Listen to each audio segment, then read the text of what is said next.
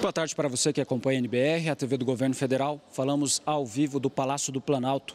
Na última sexta-feira, dois aviões modelo Hércules da Força Aérea Brasileira decolaram do Brasil para Moçambique, país atingido por um ciclone tropical chamado Idai, que ocorreu no dia 14 de março e deixou mais de 700 mortos. Pelas redes sociais, a Força Aérea Brasileira publicou imagens da chegada dessas aeronaves nesta segunda-feira.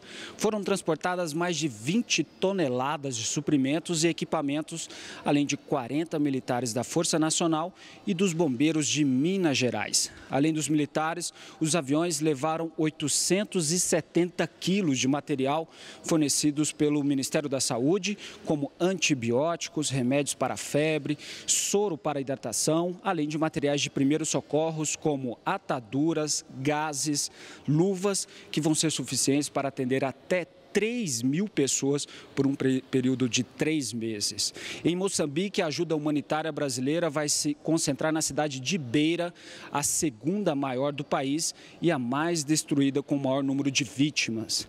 Lembrando que o Brasil já havia anunciado a doação de 100 mil euros, cerca de 430 mil reais, para apoiar o governo de Moçambique nos trabalhos de resgate e reconstrução emergencial após o resgate.